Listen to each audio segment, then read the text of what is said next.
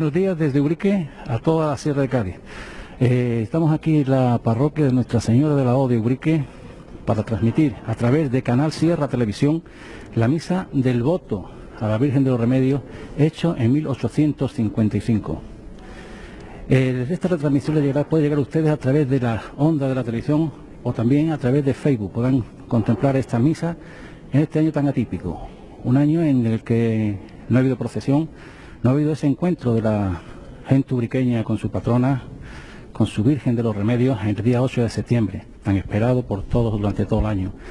Tampoco ah, va a haber esta tarde la procesión del voto, ese voto que se hiciera a la Virgen de los Remedios en el año 1855, cuando una epidemia de peste, la cólera, arrasó con el, con el pueblo de Urique, un pueblo que en aquellas fechas tenía más o menos unos 5.000 habitantes y en aquellos terribles meses de aquel verano de 1855, pues sucumbió con más o menos unas 250 personas fallecidas en los barrios más poblados de, Ubrique, barrio de la Torre, calle San Sebastián, toda esa parte del pueblo sucumbió en esos terribles meses, viviendo que la epidemia no bajaba, la epidemia seguía devastando a la población ubriqueña con todos los medios que había a disposición de ellos, pues eh, se encomendaron a la Santísima Virgen de los Remedios en un cabildo especial donde se juntaron el cabildo eclesiástico y el cabildo municipal y hicieron esa promesa de, a la Virgen de los Remedios que le librara de la, terrible enfermedad del cólera en aquellos años.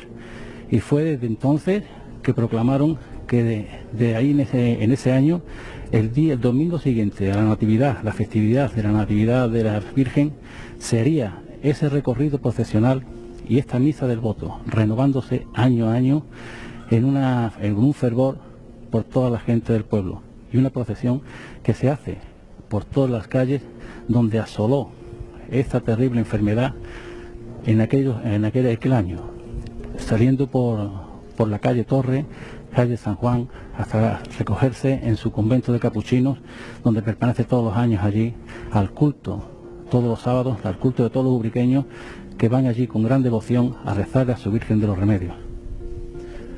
Una Virgen de los Remedios que es patrona de Ubrique desde el año 1680, cuando se abre eh, el culto ya el convento de capuchinos con la Virgen de los Remedios que es traída desde Granada una Virgen del Remedio que se fundara en ese convento de capuchinos en el año 1600 cuando el, el marqués de don, Rodrigo, Ponce de León, viéndose mm, de los avatares de las batallas, quiso hacer fundar un convento de capuchinos en Urique.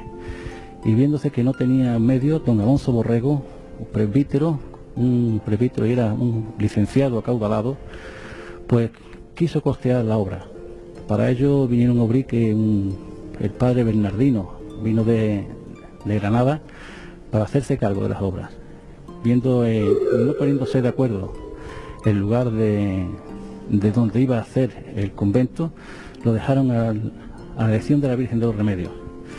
Y una tarde, entre las huertas de Benalfil y de donde está ahora mismo el convento, pues se le apareció la Virgen de los Remedios a una niña llamada Leonor Sánchez, se le apareció esa tarde. La niña, asustada, salió corriendo, pero la Virgen se le dejó una carta y una cuerda con nudos. La dejó para que la recogieran. Se lo dijo a su padre y esa niña fue, recogió la carta la llevaron al padre Bernardino, que estaba alojado en la iglesia de San Juan de Letrán, hoy museo de, Ubique, museo de, de costumbre de Ubrique. Y allí en la carta nunca se desveló el contenido, pero sí indicó el lugar donde quería que se hiciera el convento. Al pasar de los años, y cuando el convento fue hecho a los 10 años, que tardaron 10 años en su construcción, y al traer los padres desde Granada a la Virgen de los Remedios, la niña, que ya era una, una mujer, dijo con grandes voces que era la señora que se le apareció cuando ella era niña. Desde entonces hubo muchos milagros y la devoción pues fue muy grande hacia, hacia la Virgen y desde entonces fue proclamada patrona de Urique, siendo después ya eh, a través del tiempo hizo un milagro, concluyendo con ese fabuloso milagro de que el del día del voto, del 1855, en que la señora de los remedios libró a Urique de esa terrible enfermedad como es la peste. Y es la misa, precisamente la, la misa del voto, donde se renueva, como cada año, ese voto, esa promesa del pueblo uriqueño a la Virgen de los Remedios, la que vamos a presenciar en un momento. Una misa que va a estar, como se sabe ya, un poco mm, con menos gente que, otros años a causa de las restricciones y las recomendaciones de las autoridades sanitarias en la que no puede entrar toda la gente que, que, que, quisiéramos que estuvieran aquí en la, parroquia para demostrar esa fe, para ese fervor que se le tiene a la Santísima Virgen de los Remedios. Y es por ello de que eh, el, aforo limitado, pero con la misma entusiasmo que todos los años, como se pudo ver el, pasado 8 de septiembre, cuando la iglesia permaneció abierta por la tarde con una increíble afluencia de gente que no paraban de, entrar y salir con este reducido aforo que se, que se pudo hacer y no paraban de entrar y salir gente para apostarse a los pies de la, de la señora Remedios como siempre se ha hecho. Y este año lamentablemente no se, no se pudo hacer en la calle una, una pena para todos los uriqueños que, seguramente el año que viene, si Dios los quiere, y esta enfermedad remite, pues podamos estar todos en la calle y mostrarle la, devoción y ese agasajo que le tiene todo el pueblo de Ubrique a su patrona, a su Virgen de los Remedios, que cada año la esperan en la calle como si, como si fuera agua de mayo para, para venerarla, para darle las gracias, para pedirle los ruegos, para que se acerque también la Virgen, porque no, eh, en ese recorrido donde va bendiciendo a todo el mundo y va también, donde hay algún enfermo, parándose a su puerta y bendiciéndolo y saliendo ellos con toda la fe del mundo para rezar y recibir esa bendición. Una bendición que, es la que todos esperamos que también nos llegue este año y podamos ya terminar con esta enfermedad y podamos estar con, la normalidad, la normalidad que todos queremos que, que siga, que siga como estábamos antes, pues eh, es una es una de las mayores alegrías que podíamos tener para este año próximo. Tener toda la gente y podemos abrazarnos, podemos darnos la mano como, como hemos hecho siempre. Seguimos esperando a, a que se dé inicio la, Santa Misa. Están ya aquí están entrando autoridades del ayuntamiento, de la corporación municipal, que es la que también viene para hacer esa renovación del voto. La, Hermandad de los Remedios con su hermano mayor al frente, don Gabriel Sánchez López. Hermandades, representaciones de las demás hermandades ubriqueñas, como son la hermandad de nuestro Padre Jesús Nazareno, la hermandad de nuestro Padre Jesús cautivo y rescatado, la agrupación de San Antonio, todos ellos ya ocupando su lugar para, esta, para estar en, esta misa y renovar también el voto, de, el voto, la promesa a Señor de los Remedios. Una misa que va a estar presidida por el reverendo párroco don Roberto Romero Valero, párroco de esta parroquia de Nuestra Señora de la O de y estará concelebrada con algún que otro eh, seminarista ubriqueño que, recientemente ingresó en el, seminario de, Jerez y, presto estará aquí también a concelebrar esta sagrada Eucaristía con el voto de, por el voto hecho en 1855. Falta un poco distante, ya ha llegado las autoridades de la alcaldesa, teniente de alcalde también, don Manuel Ángel Chacón, Isabel Gómez. Estamos ya solamente a la espera de que de comienzo el coro también ya preparado en la, en la parte superior de la iglesia, dirigido por Daniel Borrego Marante. Ya se están ultimando los, últimos detalles, se pone también la, vara de mando de, de alcaldesa perpetua que será ofrecida por la máxima autoridad, la máxima regidora del Ayuntamiento de Urique, doña Isabel Gómez García, eh, al, al final de la, de la homilía, como se hace todos los años, para renovación del voto y la entrega de ese bastón de, mando del alcaldesa perpetua a la señora de los remedios.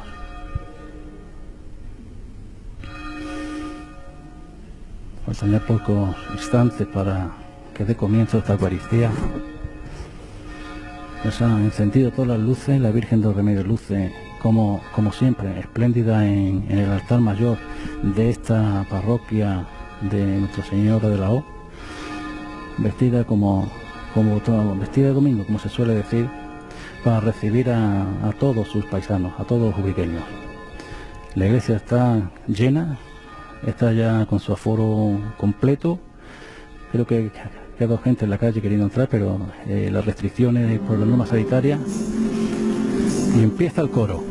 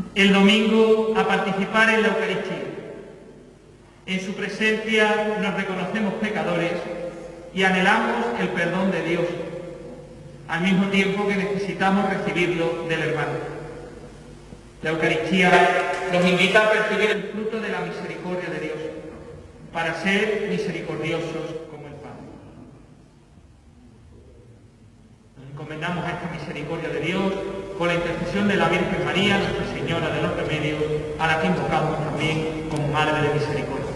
Pidamos perdón por todos nuestros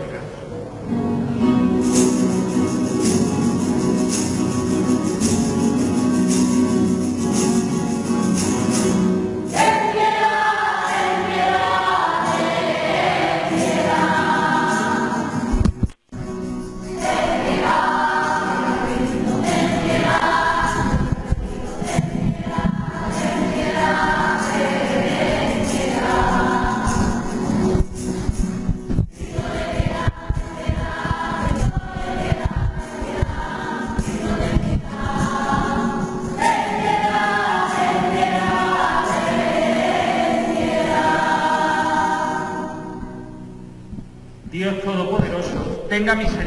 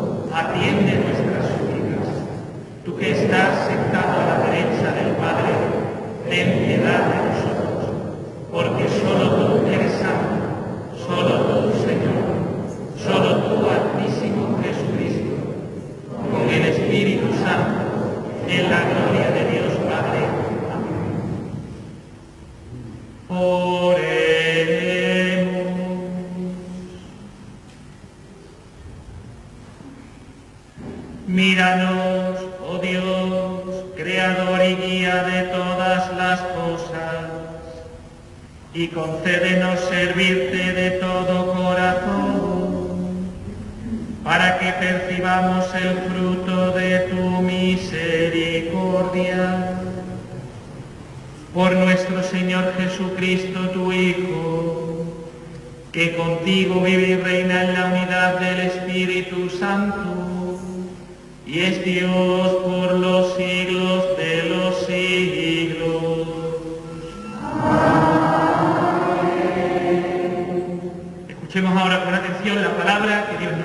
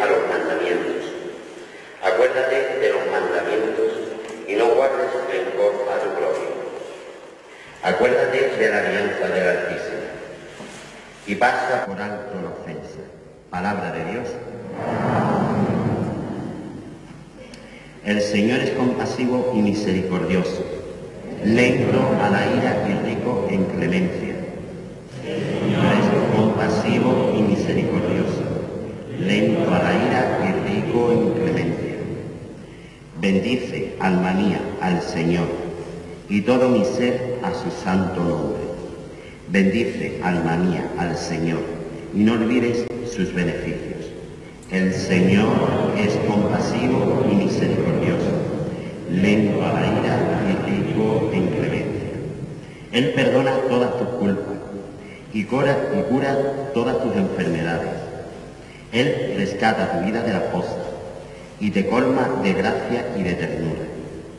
El Señor es compasivo y misericordioso, lento a la ira y rico en clemencia. No está siempre acusando, ni guarda rencor perpetuo. No nos trata como merecen nuestros pecados, ni nos paga según nuestras culpas. El Señor es compasivo y misericordioso, lento a la ira y rico en clemencia se levanta el cielo sobre la tierra, se levanta su bondad sobre los que lo temen. Como dista el, el oriente del ocaso, así aleja de nosotros nuestros delitos. El Señor es compasivo y misericordioso, a la ira y rico en clemencia.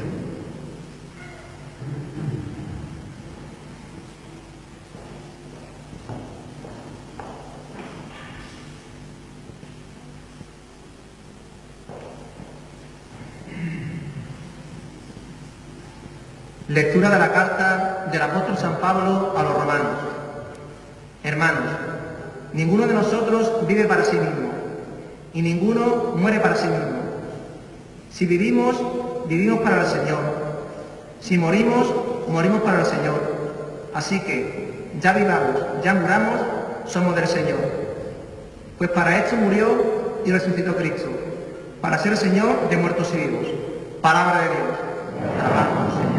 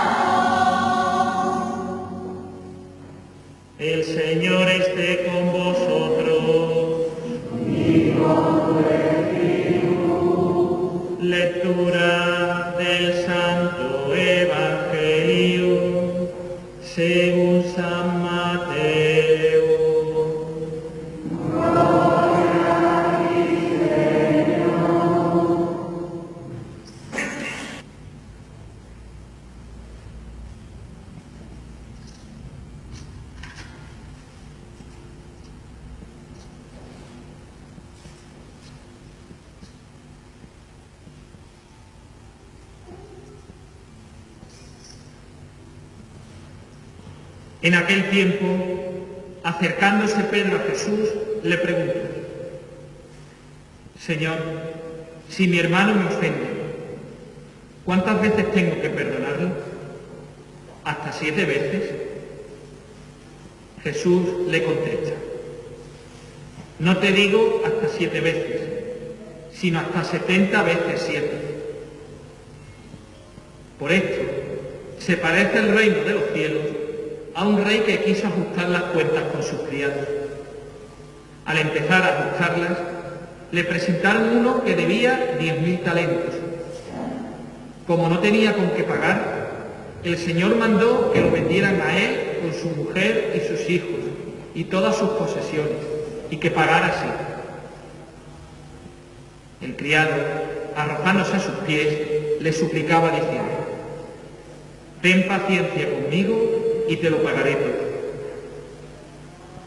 Se compadeció el señor de aquel criado y lo dejó marchar, perdonándole la deuda. Pero al salir, el criado él encontró a uno de sus compañeros que le debía cien denarios y agarrándolo lo estrangulaba diciendo, págame lo que me debes. El compañero, arrojándose a sus pies, le rogaba diciendo, ten paciencia conmigo y te lo pagaré. Pero él se negó y fue y lo metió en la cárcel hasta que pagara lo que debía. Sus compañeros, al ver lo ocurrido, quedaron consternados y fueron a contarle a su señor todo lo sucedido. Entonces el Señor lo llamó y le dijo, siervo malvado, toda aquella deuda te la perdoné porque me lo rogaste. ¿No debías tú también tener compasión de tu compañero como yo tuve compasión de ti? Y el Señor, indignado, lo entregó a los verdugos hasta que pagara toda la deuda. Lo mismo hará con vosotros mi Padre Celestial, si cada cual no perdona de corazón a su hermano. Palabra del Señor.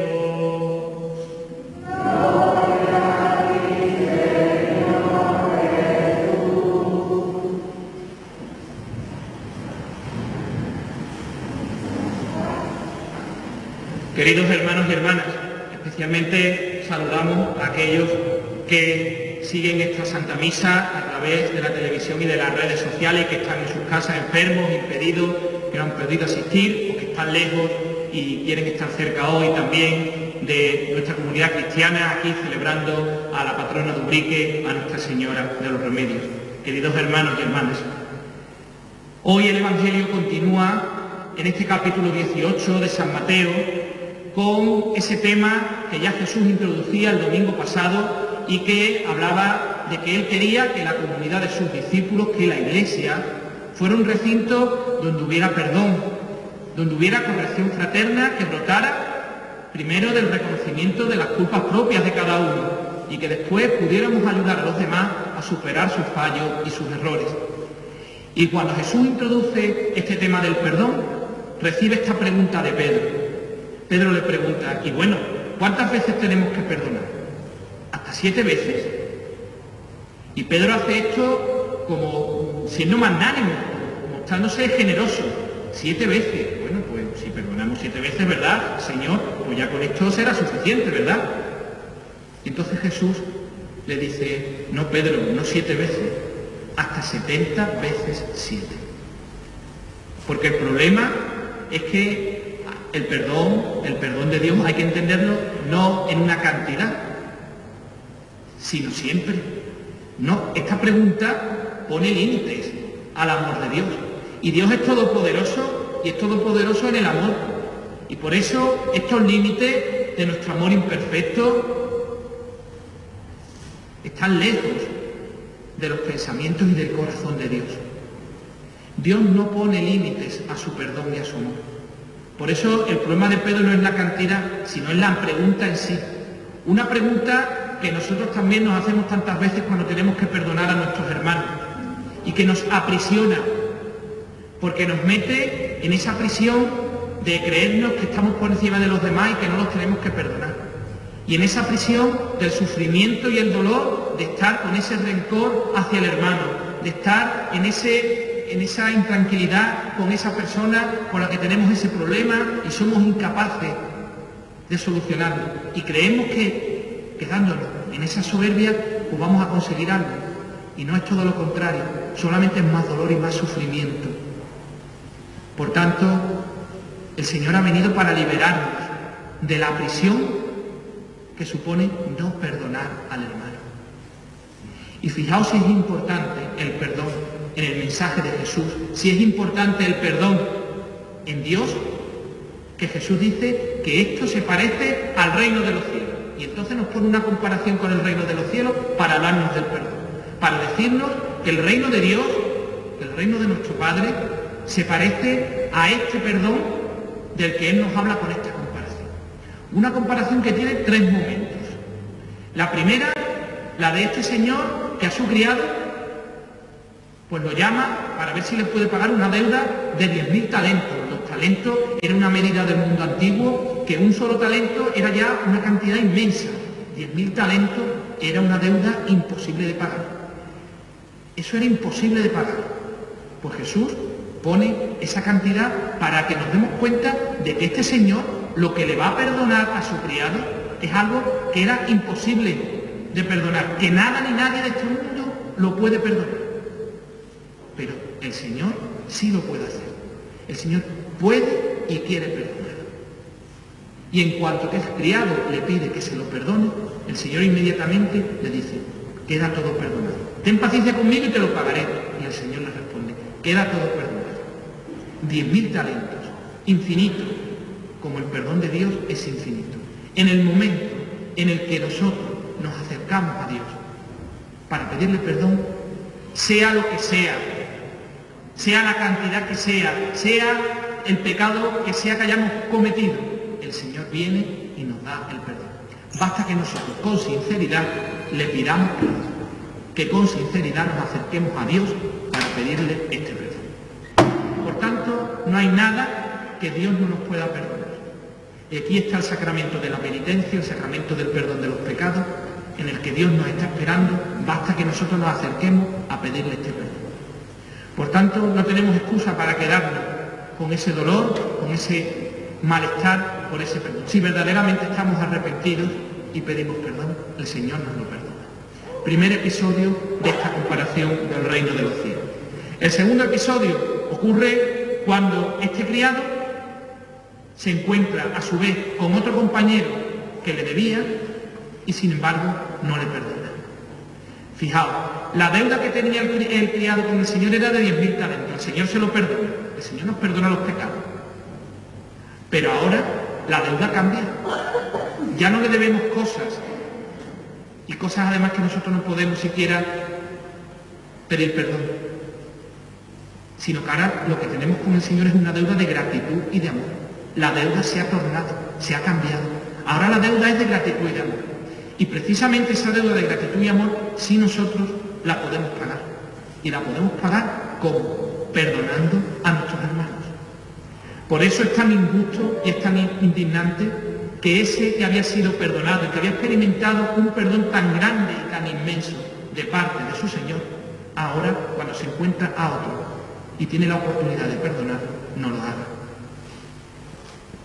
Porque está faltando su deuda. Ahora sí que está faltando su deuda. Porque esa deuda de gratitud y de amor, el Señor quiere que la paguemos nosotros también con amor y con perdón. Y entonces ocurre el tercer episodio de esta parábola. Y es que el Señor llama a ese criado y le dice, yo que te perdoné todo, ¿cómo es que tú no lo has hecho? Con el que tuviste la oportunidad. Porque el reino de los cielos consiste precisamente en entrar en esta dinámica de conversión en la cual nosotros cambiamos nuestras deudas de los pecados por el amor inmenso de Dios a una deuda de gratitud que se paga con el perdón a los demás. Si no entramos en esta dinámica, no es que Dios no quiera que nosotros entremos en el reino de Dios ni que Dios nos castigue, para nada, para nada. El problema es que nosotros nos estamos alejando del reino de Dios, que es perdón y misericordia infinitas. Y nos estamos quedando en esa pobreza, en esa prisión en la que está nuestro corazón, cuando estamos preguntándonos cuántas veces tengo que perdonar, o es que eso es tanto lo que me ha hecho que yo eso no se lo puedo perdonar nunca. Esa prisión tan horrible que ha venido Jesús a destruir. Quiere que entremos en esta dinámica del perdón, para que no nos alejemos de su reino, para que podamos entrar en su reino, un reino que es perdón y misericordia. Hermanos y hermanas, hoy el Señor, por tanto, nos invita a perdonar. ¿Y cómo voy yo a perdonar si esta persona me hizo tal cosa o me hizo tal otra? Hay que ver cómo se portó conmigo, hay que ver, además, yo tengo la razón y esa persona, pues, además lo que ha dicho y lo que ha hecho, pues era todo mentira o era todo... ¿Cómo voy a perdonarla? Eso es imposible. Sí es posible. Si tú entras en la dinámica de experimentar el amor de Dios, de experimentar el perdón que Dios ha tenido contigo, si tú de verdad acoges ese perdón, entonces resulta más fácil. Entonces es posible porque no son tus fuerzas, son las de Dios, que no tiene medida y que no tiene límite a la hora de perdonar. Este es el reino de los cielos al que nos llama hoy el Señor por estas palabras del Evangelio. Un reino de los cielos al que nos invita también la Santísima Virgen María, Nuestra Señora de los Remedios. ¿Hay remedio para este mundo? ¿Hay remedio para todas las cosas que nos pasan? Sí que lo hay. Empieza por el perdón. Ese remedio empieza por el perdón. Y mientras que no perdonemos, mientras que no aprendamos a perdonar como Dios nos perdona, no podremos entrar en esa, en esa dinámica en la que entró la Santísima Virgen María para que entre el perdón en el mundo. Ella perdonó y fue la que trajo el perdón de los pecados al mundo con su Hijo Jesucristo. Ahora nosotros también, como María, estamos invitados a perdonar, a salir de nuestras soberbias, de nuestros engreimientos, de nuestro yo tengo la razón, de nuestro yo estoy por encima, es que esta persona no se lo merece, a salir de todas esas presiones para que podamos empezar a remediar, a remediar los problemas. Solamente desde el perdón y la misericordia esto es posible. Que ella nos conceda este remedio que tanto necesitamos, que sea ella la intercesora para que su Jesús nos conceda este perdón y podamos dar también este perdón a todo aquel que nos rodea. Y así sea.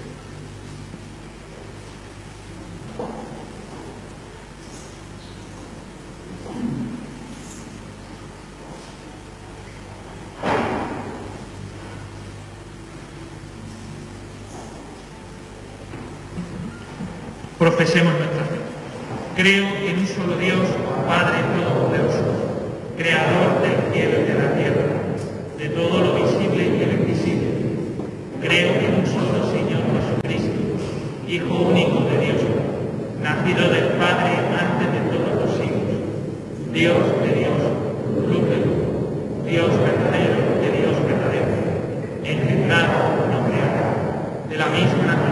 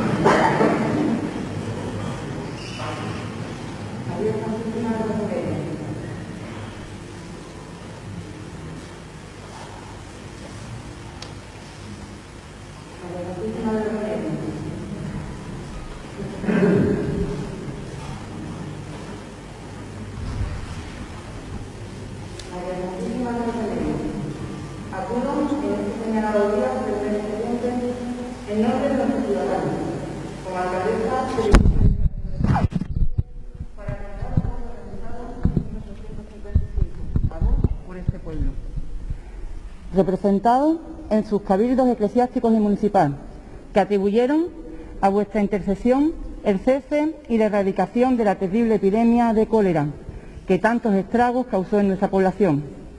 Y así, para conmemorar este voto realizado a nuestra patrona, nos reunimos en este templo para celebrar esta solemne función y Deum, en acción de gracias en el domingo siguiente al día 8 de septiembre, fiesta del nacimiento de la Virgen.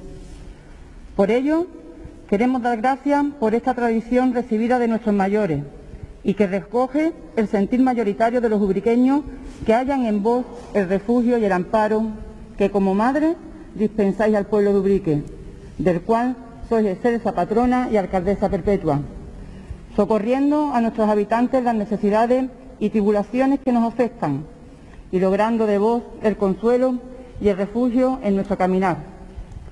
Os pedimos, dulcísima patrona nuestra, que siempre tengáis presente a este pueblo de Ubrique que tanto os honra y tanto amor os profesa, solicitando de vos el bienestar para los hogares, la salud para los enfermos, la estabilidad laboral para nuestros habitantes y la esperanza de un futuro próspero para nuestra juventud.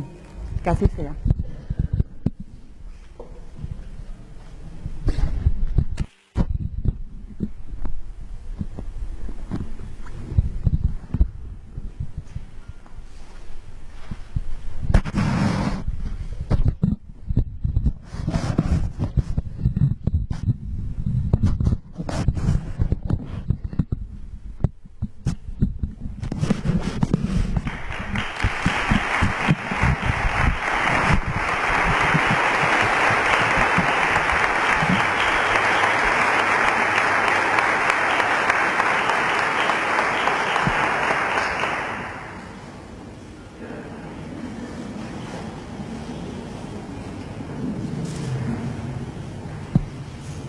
Oremos a Dios Padre, que no nos trata como merecen nuestros pecados, ni nos paga según nuestras culpas.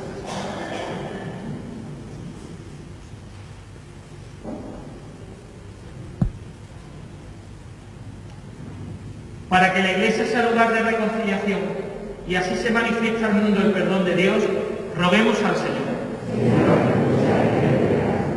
Para que todos los pueblos se reconcilien sobre la base de la justicia, el respeto, la paciencia y el amor, roguemos al Señor. Para que aquellos que se sienten justamente ofendidos sean capaces de perdonar y olvidar, roguemos al Señor.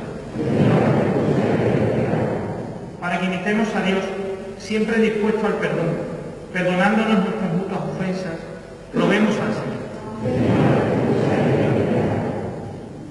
Señor Dios nuestro, compasivo y misericordioso, escúchanos, que podamos decir con verdad, como el criado de la parábola, ten paciencia con nosotros, perdónanos, como también nosotros perdonamos, por Jesucristo nuestro Señor. Sentamos.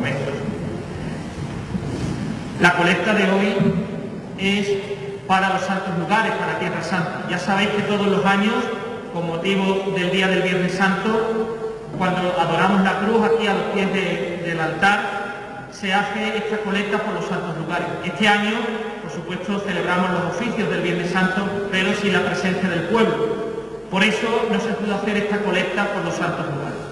Y así la conferencia episcopal la ha trasladado a este fin de semana, a este domingo anterior a la fiesta de la exaltación de la cruz, que es mañana, 14 de septiembre, la ha trasladado porque este año además verdaderamente es aún más necesario Tierra Santa, los cristianos que allí viven, pues es un lugar delicado. Ya lo sabéis que está en una encrucijada entre los conflictos de distintos pueblos, de distintas naciones y además pues los cristianos son una minoría. Por ejemplo, os pongo el ejemplo de Belén, la tierra, el pueblo donde nació Jesús. Allí hace unos años la población cristiana era el 90%. Hoy día son solo el 10%, porque han tenido que huir la persecución, por la presión que sufren, por todos los problemas que hay allí. Bueno, pues como esto, todos los lugares de Palestina, los cristianos pues lo están pasando muy mal y necesitan de nuestra ayuda, de todos sus hermanos del resto del mundo. Y además, especialmente este año, decía, porque los que habéis venido a Tierra Santa ya habéis visto que allí viven de las peregrinaciones de los cristianos del mundo que vamos allí, ¿verdad?, en peregrinación a los lugares santos de, de nuestra fe cristiana. Bueno, pues desde marzo no va nadie, porque están todos los viajes cortados, porque no se puede viajar, porque por todas estas recomendaciones, estas, normas sanitarias. Por tanto, están pasándolo. Y por eso todavía es más necesario que este año, esta, en colecta por los santos lugares, por Tierra Santa, pues seamos aún más generosos. Por eso os pedimos vuestra colaboración y que recemos por estos cristianos de la tierra donde nació Jesús, donde murió, donde resucitó, para que allí pues, se siga conservando la fe y sobre todo para que puedan tener un desarrollo y la prosperidad que pues, merecen como no puede ser de otra manera. Pues muchas gracias a todos por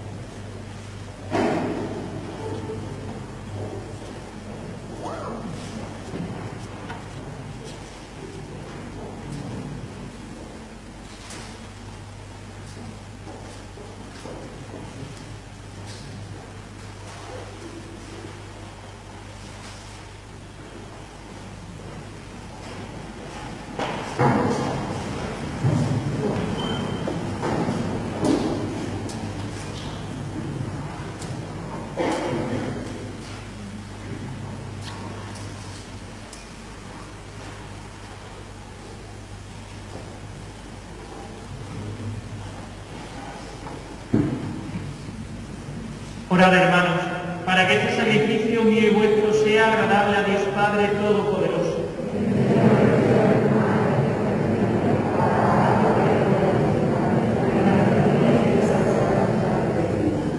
Sé propicio a nuestras súplicas, Señor, y recibe complacido estas ofrendas de tus siervos, para que la oración que ofrece cada uno en honor de tu nombre sirva para la salvación de todos.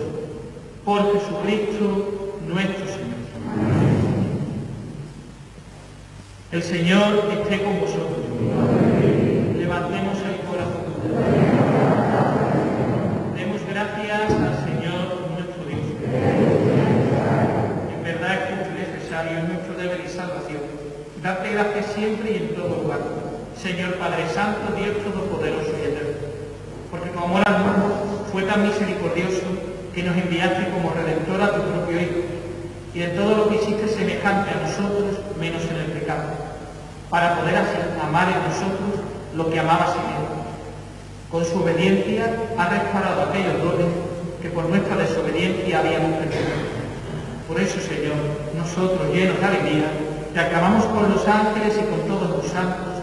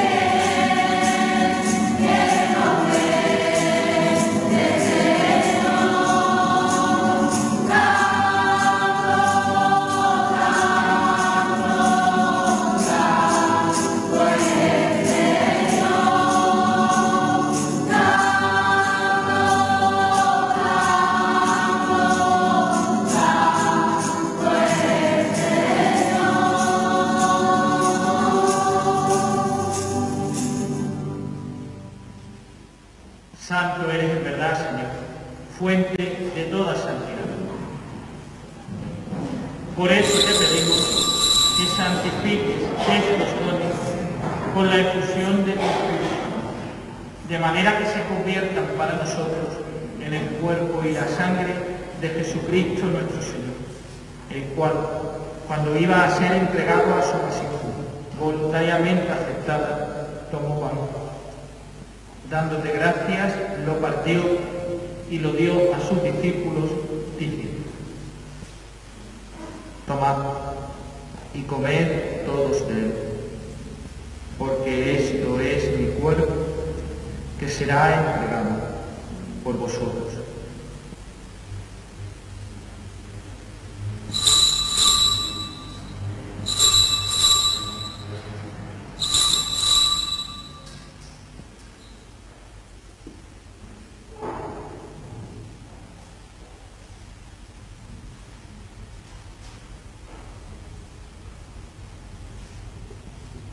Del mismo modo, acabada la cena, tomó el cáliz y dándote gracias de nuevo, lo pasó a sus discípulos diciendo, tomad y bebed todos de él, porque este es el cáliz de mi sangre, sangre de la alianza nueva y eterna, que será derramada por vosotros y por muchos para el perdón de los pecados. Hacer esto en conmemoración mía.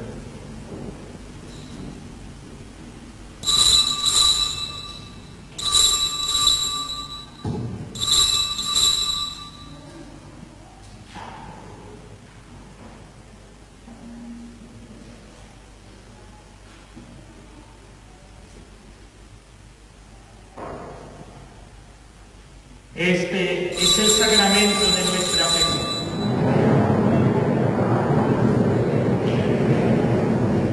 Así pues, Padre, al celebrar ahora el memorial de la muerte y resurrección de tu Hijo, te ofrecemos el pan de vida y el cáliz de salvación, y y te damos gracias porque nos haces dignos de servirte en tu presencia. Te pedimos humildemente que el Espíritu Santo congregue en la unidad a cuantos participamos del cuerpo y la sangre de Cristo. Acuérdate, Señor, de tu iglesia, extendida por toda la tierra y reunida aquí en el domingo, día en que Cristo ha vencido a la muerte y nos ha hecho partícipes de su vida importante. Y con el Papa Francisco, con nuestro obispo José y todos los pastores que cuidan de tu pueblo, llévala a su perfección por la caridad. Acuérdate también de nuestros hermanos, que durmieron en la esperanza de la resurrección, y de todos los que han muerto en tu misericordia. Admítelos a contemplar la luz de tu rostro. Ten misericordia de todos nosotros, y así, con María, la Virgen Madre de Dios, Nuestra Señora de los Remedios, su esposo San José, los apóstoles y cuantos vivieron en tu amistad a través de los tiempos, merezcamos por tu Hijo Jesucristo compartir la vida eterna y cantar tus alabanzas.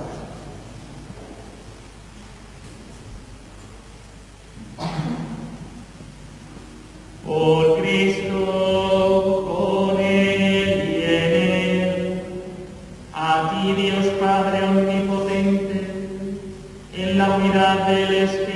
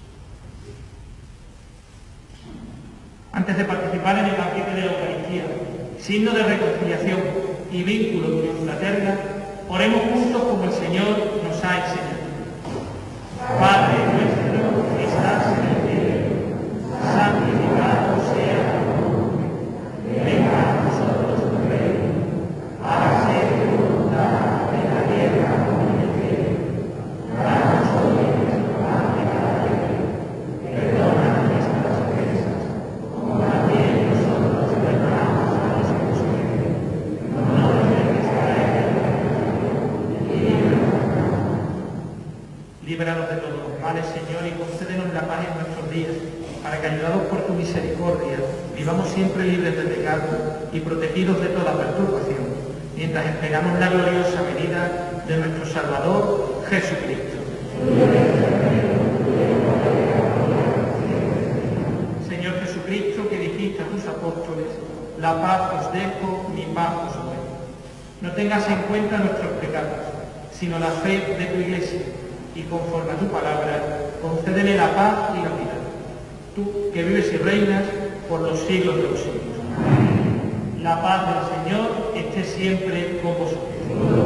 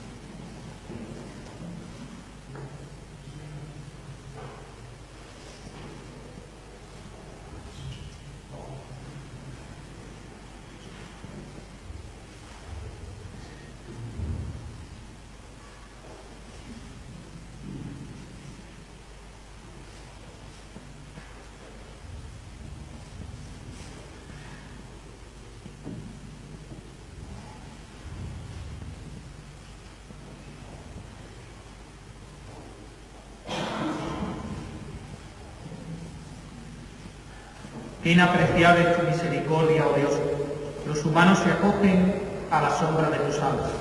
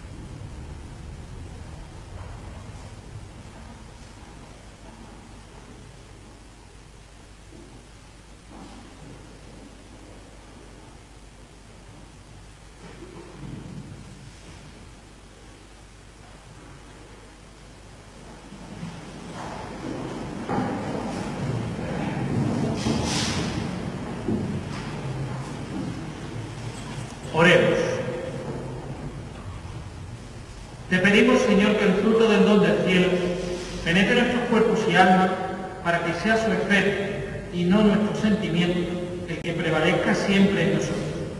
Por Jesucristo nuestro Señor. El Señor esté con vosotros. Y la bendición de Dios Todopoderoso, Padre, Hijo y Espíritu Santo, descienda sobre vosotros. Antes de concluir la Santa Misa, pues como todos los años, al terminar el día del voto a Nuestra Señora de los Remedios, volvemos a los horarios habituales de las misas en nuestra parroquia. Este año además volvemos después, desde marzo, ¿verdad? Que llevamos con todo este eh, un poco eh, eh, cambio de horario y horario especial. Por tanto, a partir de mañana ya volvemos al horario habitual de la parroquia, que recuerdo es el siguiente. Los lunes a las 8 la misa en el San Antonio. Los martes, miércoles y jueves la misa a las 8 aquí en la parroquia. Los viernes a las 10 de la mañana la misa aquí en la parroquia. El sábado la misa a las 8 de la tarde, de momento seguirá siendo aquí en la parroquia, ya informaremos cuando volverá al convento. Y después los domingos a las 10 de la mañana en el Jesús y a las 12 aquí en la parroquia. Bueno, pues el horario que siempre tenemos habitualmente y por tanto pues ya lo tenemos todo presente. En este día del voto a nuestra patrona, la Virgen de los Remedios que recordamos, recordamos que ella ha estado siempre con nosotros, pues volvemos de nuevo ahora a nuestros ojos misericordiosos, a sus ojos misericordiosos, nuestros ojos que necesitan de ese remedio, que necesitan especialmente en estos momentos también de epidemia, como en aquella ocasión, en estos momentos de epidemia que necesitan de la salud. Pedimos por todos los enfermos y las personas que los cuidan, pedimos especialmente por todos los que han fallecido y le pedimos que nos dé la responsabilidad y la paciencia A ella dirigimos de nuevo el canto de la salve y que por su intercesión el Señor nos conceda la salud y todo lo que necesitamos en cada momento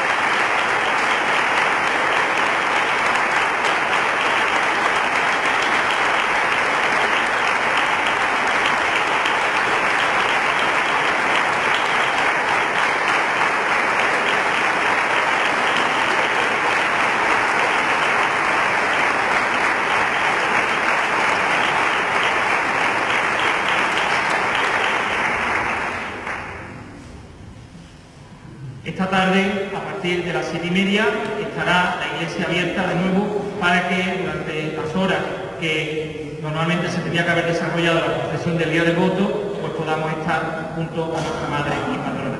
Pues acudamos a ella para su intercesión y para, pues como Madre nuestra, que nos escuche en todas nuestras oraciones. Esta tarde a partir de las 7 y Que paséis todos un feliz domingo. Podéis ir